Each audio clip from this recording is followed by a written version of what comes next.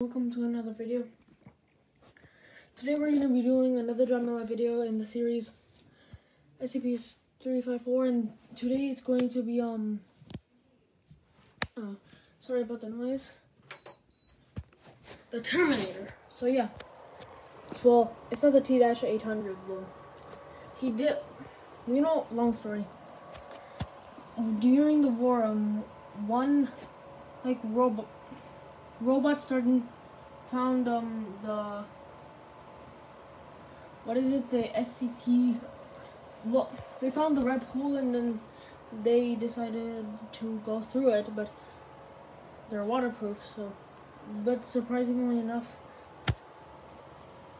well metal things well robots can actually go to um the red pool because they won't get malfunctioned or something so when he went there into um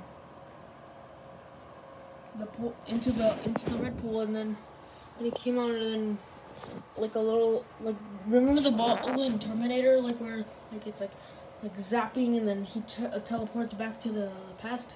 Yeah that happened when he came through and then the SCP Foundation found out. And then um he came to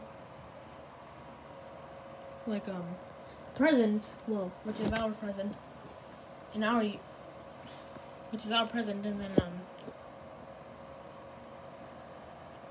no, no, no, no, no, no, no, wait, wait, let me remember. Oh, oh, also, you can also tra time travel in the Red Pool, too.